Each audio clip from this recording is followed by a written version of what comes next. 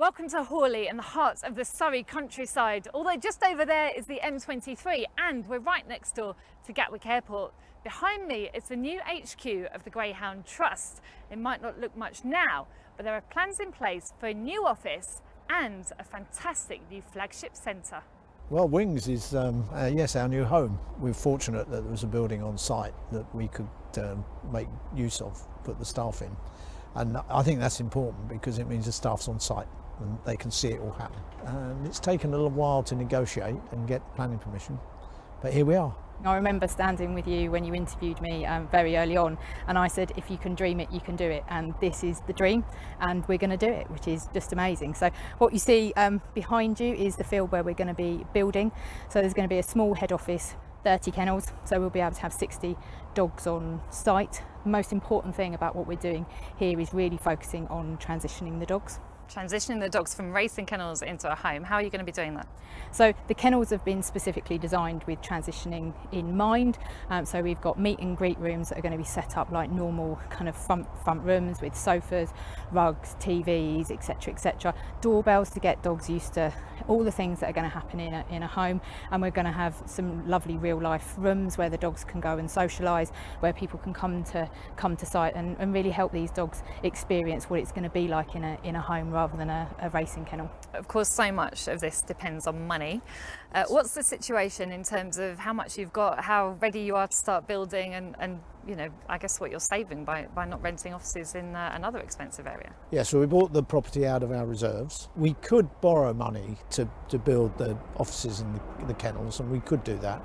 But what we hope is that the GBGB will be able to give us the, the money to build the offices and then we'll try and raise the money to build the kennels and the and the facilities that go with them um, from from the industry and other greyhound supporters. And we'll acknowledge everybody because we would really like the whole greyhound community and indeed beyond that to feel that they're involved in this because it's a very exciting project so this is the, the new site. Um, this is Wings, um, which is the bungalow actually that the Greyhound Trust head office have moved into as our temporary offices, whilst we build in this side of the, the site. So small head office building here and most importantly the, the new kennel block here. Um, nice balancing pond, beautiful landscaping, woodland walks, lovely turnout paddocks further up the site, um, some being kind of real focus on off lead, some being much more focused on interactive play um, with a whole walk around the, the edge of the site so there'll be plenty of places for the dogs to get out and about. And then this is the actual kennel block? Absolutely. So horseshoe shape? Horseshoe shape, um, two, two blocks. This side can't see this side. They look out onto the courtyard. This this section um, look out onto the balancing pond and this end is really important for what we're going to be doing here which is the transitioning of these dogs from race dogs to, to family pets so a real focus on real life rooms meet and greet rooms etc etc so th this end is very much focused on these dogs getting into a, a family home and then that's not very nice for the dogs. Space Lubis, they're heated as well, aren't they? But what about for you guys? Is so, going to be nice? Modest, modest, just enough room for us to do do the job we, we need to and focus on supporting our, our branches. Well, this is Liz, and she is the Welfare and Operations Manager here at the Greyhound Trust. A relative newbie, but uh, not new to greyhounds, are you? No, not at all. I met my husband uh, many moons ago now in through greyhound racing. He was he worked for Brian Clemenson when he was training, um, and I had my own uh, bitch when she was running with Derek Knight and I previously ran um, the Brighton uh, Greyhound Owners Association Trust for retired dogs, homing them um, and I've been at the RSPCA and I've gone full circle and come back to greyhounds because I'm so passionate about them. And I can understand why. and from a welfare point of view, this centre must be a dream for you because the dogs that come here, uh, every whim is going to be catered for, isn't it?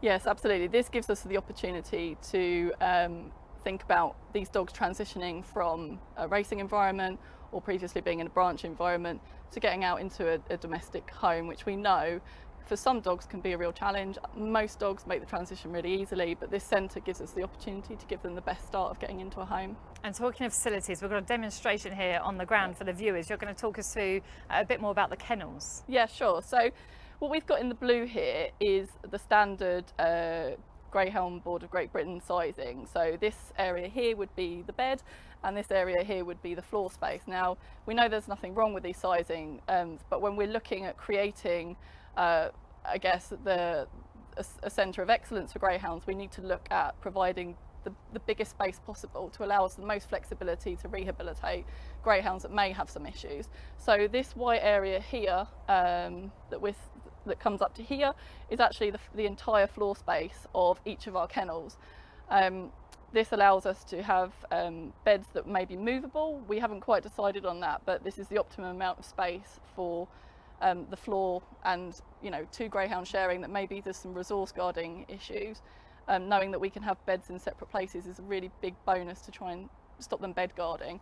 Um, there'll be a hatch uh, which will be a good size so again there's not one dog uh, stopping another dog getting out into the run area and this area over here is the run which will be a covered run to the outside why is this a good location? So this is a great location. It's in the southeast. It's going to be fabulous for awareness and increasing homings. It's a good location for fundraising and most importantly this site is ideal for, for having dogs on it. So we've got a little bit of road noise, a little bit of background noise for, from the M23. We've got prevailing wind um, which is westerly um, and we're on the Gatwick flight path but actually it's not very noisy um, and the reality is that dogs do make some level of, of, of noise um, and therefore because of the prevailing wind and the setup up of the road and the, the, the, airport, it means that we can face the dogs acoustically well on this site and have uh, and minimise the, the impact that we have on, on the surrounding community.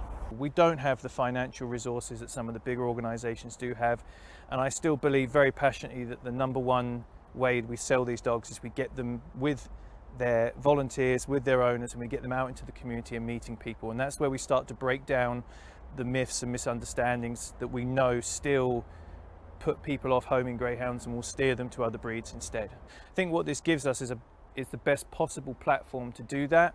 You know, I'm very passionate about the work that's done by all of our branches and, and the simple fact that the charity can't continue its homing, can't continue its awareness work unless we all work together. Uh, what it does give us here is the platform that we've needed for ages to really build on what we do currently. So yeah, it's a it's part of a bigger piece of work for the whole charity, that's for sure. You are notoriously a charity that has to run on a minimal amount of money and home an exceptionally large number of dogs off the back of that. And this is of course costing a lot of money. How beneficial is it, do you think, for your vision, which is to one day home every retired racing greyhound? Absolutely key. And I'm standing here, hand on heart, and I believe that our founding members would be absolutely proud of, of what we're doing. We were set up to home retired racing greyhounds, and this will give us the stability for moving forward for the future to ensure that we can continue to do that and that we can be as effective as we possibly can be.